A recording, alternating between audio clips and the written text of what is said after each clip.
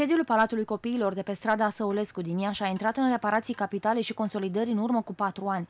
Lucrările ar fi trebuit să dureze doar un an, însă din cauza lipsei de bani au fost întrerupte. Așa se face că imobilul de patrimoniu se degradează pe zi ce trece. Cu toate acestea, cluburile de teatru, muzică, șah și multe altele se desfășoară în continuare. Aici vin săptămânal aproximativ 2000 de copii. Întrebat de reporterii TVR Iași dacă instituția are aviz de funcționare de la Inspectoratul pentru Situații de Urgență, directorul a declarat că nici nu are nevoie. Nu ni trebuie nou avizul acum. Avizul când încep lucrările. Când începem uh, lucrările, atunci ne trebuie avizul de la uh, ISU, apoi uh, autorizația. Dar pentru perioada aceasta nu ne trebuie avizul de la uh, ISU. O situație asemănătoare se află și la Liceul Tehnologic pentru Surdomuți Vasile Pavelcu. În urma unui proces de revendicare lung și anevoios, școala a fost nevoită să se mute în imobilele pe care le-a preluat de la Direcția de Protecție a Copilului din Iași. Peste 300 de copii cu deficiențe de auz, vorbire, dar și mentale, învață în foste dormitoare transformate în săl de clasă.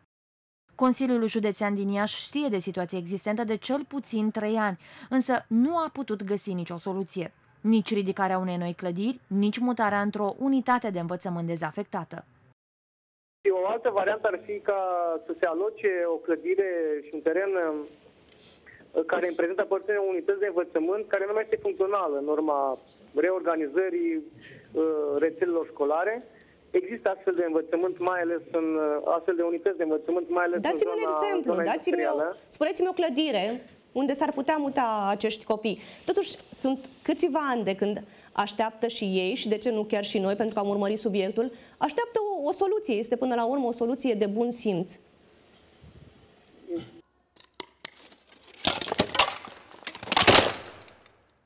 Nici liceul pedagogic nu are aviz de funcționare în caz de incendii din partea pompierilor, deoarece este necesară consolidarea imobilului. Lucrările au început în 2007, însă au fost sistate tot din cauza lipsei de bani.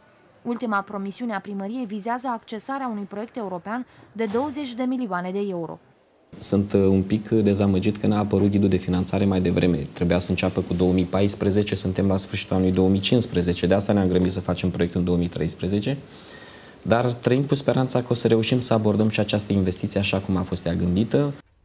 Dacă lipsa de bani se scuza mereu la îndemâna autorităților, nici pregătirea copiilor pentru situații de urgență nu se face cu responsabilitate. Copiii de la mai multe școli ieșene spun că până săptămâna trecută nu au mai făcut simulări decât acum 5 sau 6 ani în urmă. A venit vreodată vreun pompier la voi în clasă să vă învețe cum se stinge un incendiu? Nu, doar doamna dirigentă. Ce v-a zis doamna dirigentă? A spus că în caz de incendiu, în caz de incendiu să nu intrăm în panică și să ieșim uh, pe cea mai apropiată scară de, din școală. Am făcut foarte puține lucruri elementare, foarte, ceva foarte simplu. Nu... Adică? Uh, cum să ne protejăm, uh, pe unde să coborâm scările, să avem grijă, doar uh, atât. Nu... Asta când s-a întâmplat? Uh, pe vremea când eram în liceu. În urmă cu câți ani?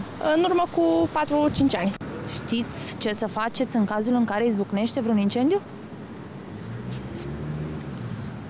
Nu da știu. sau nu? Nu. Nu. Trebuie să chemăm pompieri. Și până atunci? Până atunci, strângi cu apă.